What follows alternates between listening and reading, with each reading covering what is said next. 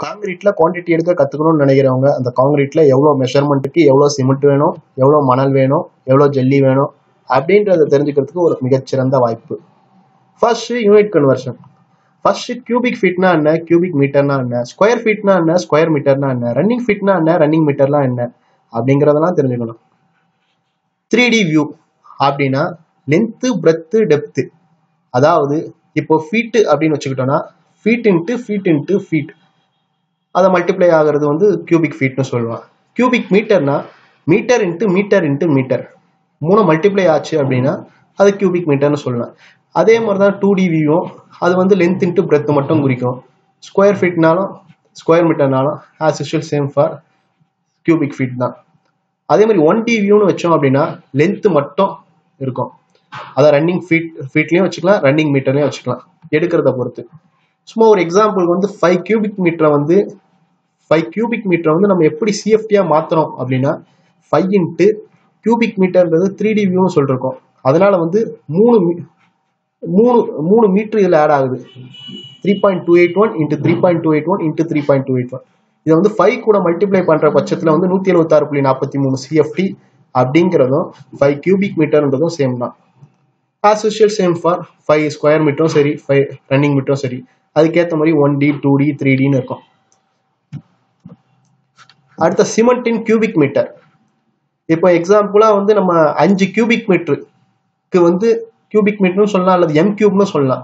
RCC concrete வந்து one is to one half three அதாவது M தொட்டி ப்ரொபோஷனில் இருக்கிற பட்சத்தில் அதுக்கு அஞ்சு அஞ்சு கியூபிக் மீட்டருக்கு எத்தனை மூட்டை சிமெண்ட் வேணும் அப்படிங்கிறத கண்டுபிடிக்கிறதுக்கு நம்ம என்ன பண்ணோம் அப்படின்னா ஃபர்ஸ்ட் வந்து ட்ரை மார்ட்டர் அப்படின்றது வந்து என்னன்னு தெரிஞ்சுக்கணும். ஸ்டாண்டர்ட் ட்ரை மார்ட்டர் பிசிசிக்கு வந்து ஒன் பாயிண்ட் ஃபைவ் செவனும் ஆர்சிசிக்கு வந்து ஒன் பாயிண்ட் ஃபைவ் ஃபோர் அப்படின்னும் இருக்கு.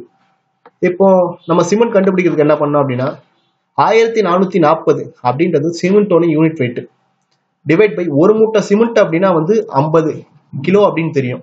இதை டிவைட் பண்ணிப்போம். இது கூட எதை மல்டிப்ளை பண்ண போறோம் அப்படின்னா ம், இப்போ ஃபைவ் எம் கியூப்க்கு வந்து நம்ம கண்டுபிடிக்க போறோம் quantity five M cube divide by என்ன proportion one is one half three இதையும் இதே மல்டிப்ளை பண்றோம். மல்டிப்ளை பண்ணிட்டு வந்த ஆன்சர் கூட இன்ட்டு வந்து இந்த நம்ம இப்போ ஆர்சிசி அதாவது ரீஇன்ஃபோர்ஸ்டு காங்கிரீட் யூஸ் பண்றோம். கம்பி உள்ள காங்கிரீட் அதனால ஒன் பாயிண்ட் ஃபைவ் ஃபோரை இது கூட மல்டிப்ளை பண்ணால் forty point three two bag five M கியூப்க்கு M டுவெண்ட்டிக்கு தேவைப்படுது.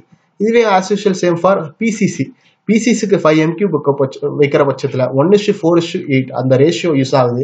அதனால இதில் என்ன one is to one half three இங்கே எப்படி யூஸ் ஆயிருக்கோ அதே மாதிரி one is to four is to eight இங்கே யூஸ் ஆகும்.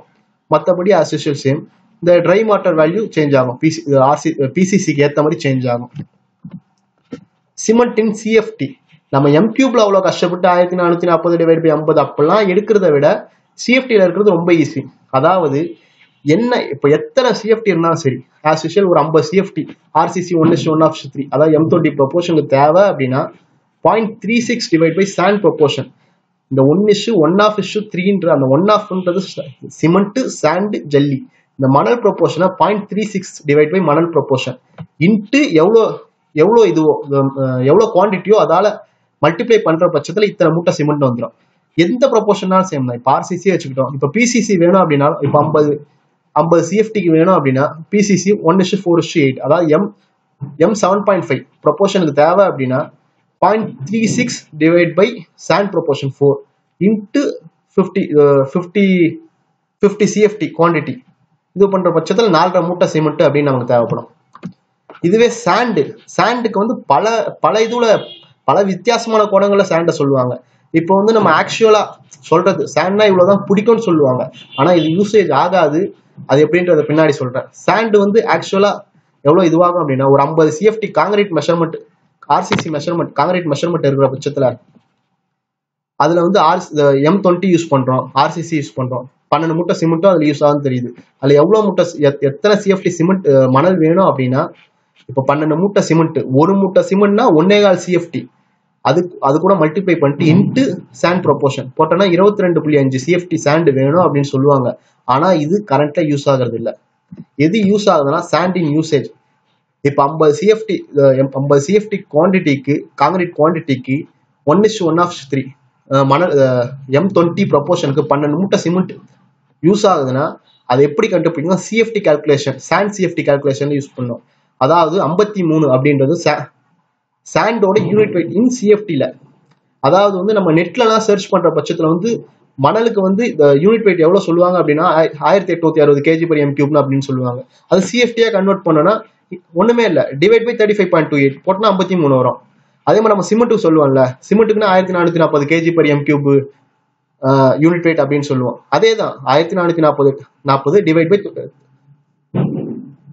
thirty five point two eight போடுற பட்சத்தில் நாற்பது கேஜி பர் எம் கியூப் அதாவது ஒரு மூட்டை சிமெண்ட்னா ஒன்னே கால் சிஎஃப்டி அப்படின்னா ஐம்பது ஐம்பது கிலோ ஒரு மூட்டை. ஐம்பது divide by one one point two five போட்டோம்னா நாற்பது அதாவது சாண்டோட ப்ரொப்போ சாண்டோட யூனிட் வெயிட் சிஎஃப்டி வந்து ஐம்பத்தி மூணு டிவைட் பை சிமெண்ட்டோடது நாற்பது அதை டிவைட் பண்ணிட்டு மல்டிப்ளை பண்ண எது கூட அப்படின்னா வந்து பன்னெண்டு மூட்டை சிமெண்ட் ஒரு மூட்டை சிமெண்ட்னா ஒன்னே கால் சிஎஃப்டி இன்ட்டு சாண்டோட ப்ரொப்போர்ஷன் மல்டிப்ளை பண்ற பட்சத்துல இருபத்தொன்பது புள்ளி எண்பத்தொன்னு சிஎஃப்டின்னு இது பண்ணுவோம். இதான் நம்ம இதான் நம்ம சைட்ல யூஸ் பண்றோம்.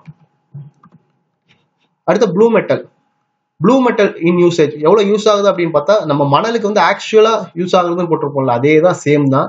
இதுல வந்து அந்த இதுவும் மட்டும். One is to one half த்ரீனா cement மணல் ஜல்லி. இந்த ஜல்லிக்குள்ளது மட்டும்தான் இதுல ஆட் ஆகும் எக்ஸ்ட்ரா வேற ஒண்ணுமே இல்லை. இப்போ ஐம்பது சிஎஃப்டி ஆஃப் காங்கிரீட் குவான்டிட்டிக்கு எவ்வளோ ஜல்லி வேணும் அப்படின்னா பன்னெண்டு மூட்டை சிமெண்ட் ஒரு மூட்டை சிமெண்ட்னா ஒன்னே கால் சிஎஃப்டி இன்ட்டு த்ரீ போடுற பட்சத்தில் நாற்பத்தஞ்சு சிஎஃப்டி ஆஃப் ஜல்லி தேவை அப்படிங்கிறது நமக்கு தெரியும்.